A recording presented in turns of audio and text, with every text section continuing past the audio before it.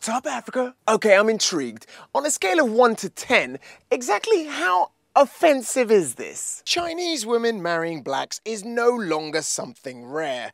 In my neighborhood is a Chinese engineer who returned from Angola, and his wife is a black girl. However, she's one of those very pretty, high end black girls. She's very slender and not one of those fat auntie types. Her skin isn't the kind of oily, ooh, greasy black, but rather black brownish or more brown. That was an English translation of a recent post on www.chinasmack.com, a website that's home to other wonderfully enlightening journalistic posts like Guangzhou government official caught chatting online. Naked. China Smack is clearly a sensationalist website, but I've gotta say, the article about Chinese men marrying African girls and the reader's comments to that article does make an interesting read. US comedian Chris Tucker made a trip to Nigeria recently as part of a documentary, and there are a couple of things about the video that kind of made me smile.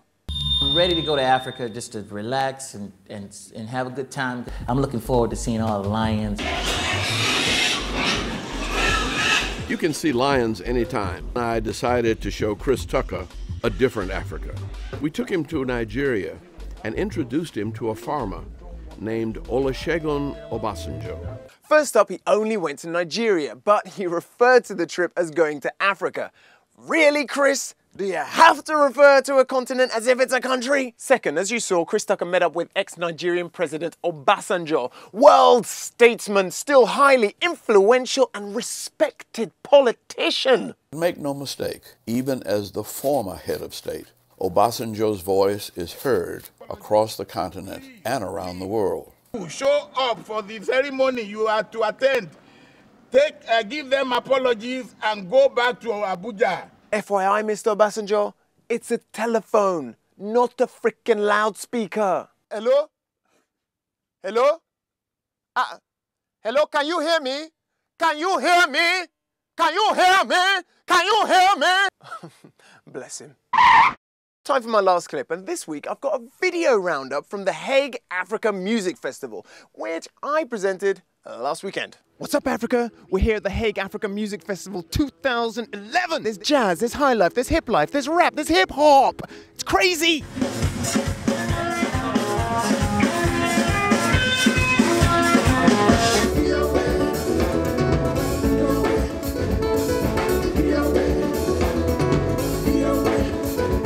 Enjoy and give a warm welcome to Mr. Geoffrey Oryema.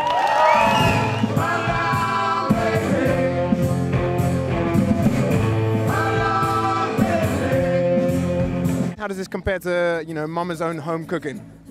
Mama's home cooking, or this one?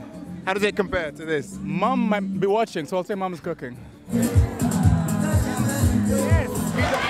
What a day! What a day!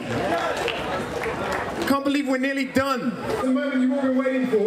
Werrason is in the house. A man known as the biggest artist in Congo.